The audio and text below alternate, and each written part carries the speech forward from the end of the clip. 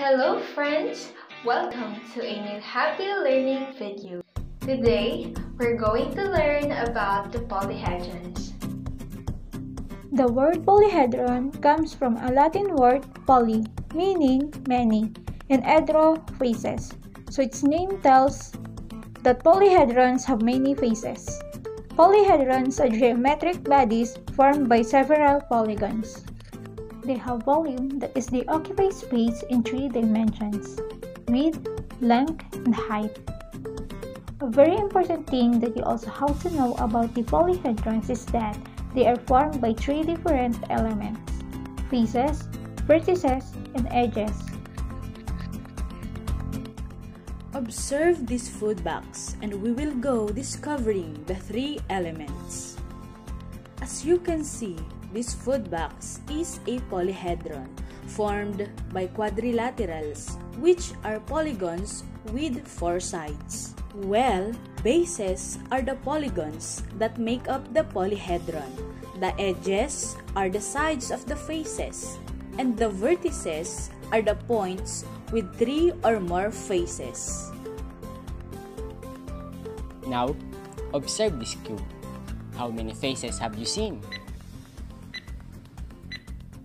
If your answer is 6, then you're right. How about the vertices? You're right, it's 8. And the edges? It's 12.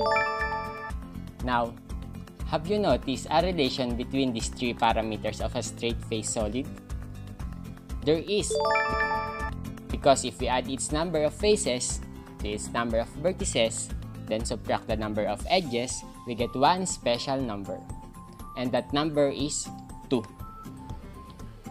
This phenomenon is called Euler's formula of polyhedron, which was first observed by Leonhard Euler. Before we continue our discussion in Euler's formula, let's first discuss Euler. The great mathematician Euler was born on April 15, 1707 in Basel, Switzerland. Studied at the University of Basel and earned his master during his teens.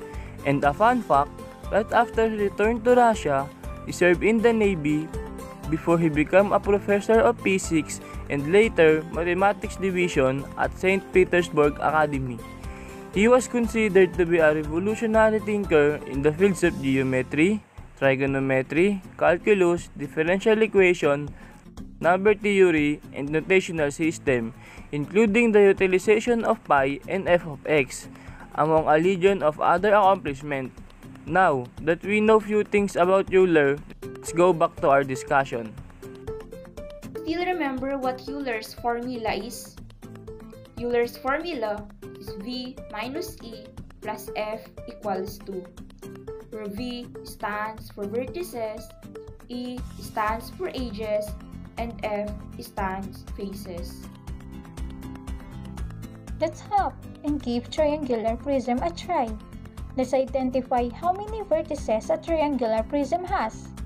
If we got 6, it's correct, since it has 3 vertices on both sides. Now, how many edges does a triangular prism have? Triangular prism has 3 edges at the front face, 3 at the middle, and 3 at the back face, a total of 9 edges. Lastly, how many faces do you recognize? Well, it has 2 faces at the end and 3 faces in the middle. So if your answer is 5, it's correct.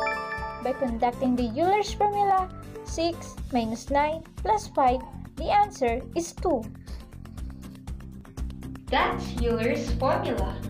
Vertices minus edges plus faces will always give us a 2 as an answer.